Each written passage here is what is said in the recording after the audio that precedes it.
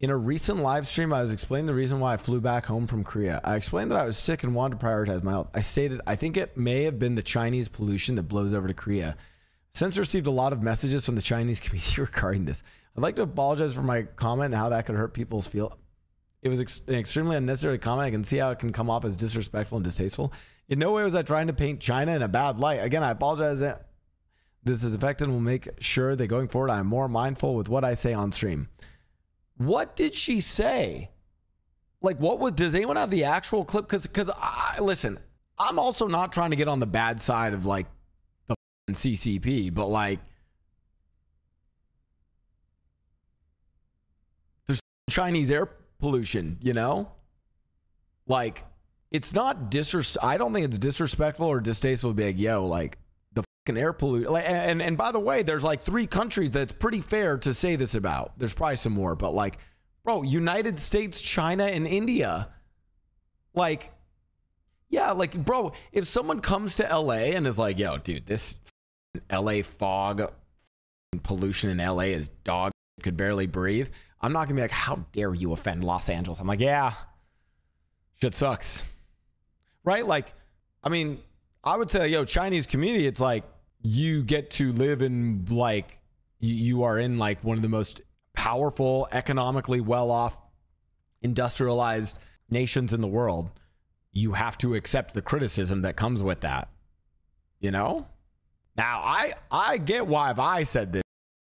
Listen, I'm I'm gonna be honest, y'all. I'm like I'm on the like I'm on my, you know, like I I, I feel like I walk on eggshells.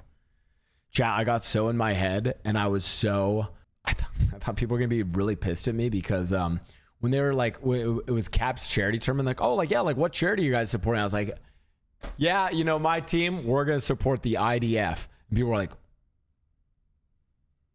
what the f-? and I was like, oh yeah, the immu- uh, immunodeficiency foundation. I was like, oh dude, like. But I was I was trying to make a joke about Connor's whole thing because Connor got like in a lot of flack for that because he was like, yo, we're fundraising for the IDF, and people were like, what the? You're fundraising for the IDF, like.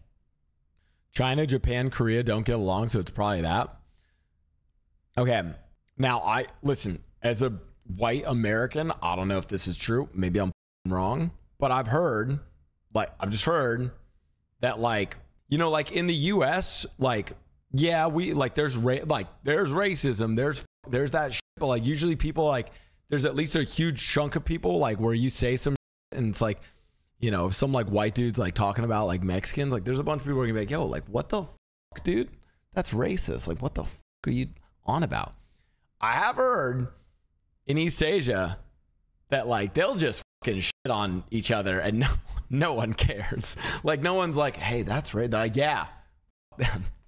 like there's like a lot of beef, you know, a lot of tension. So I've heard. I don't know. Maybe I'm wrong.